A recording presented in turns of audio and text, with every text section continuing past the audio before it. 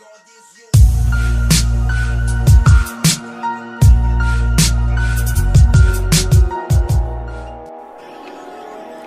I used to have much love for rap until it became trap. It's no longer breakdancing, now they just fucking dab. You're not expressing yourself, you sound like you just took a nap. I even pack my own ears.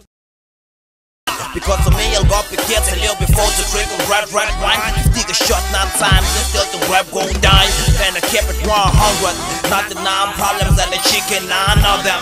Long life to them. The ones who used to rap it for me, they're tired of them.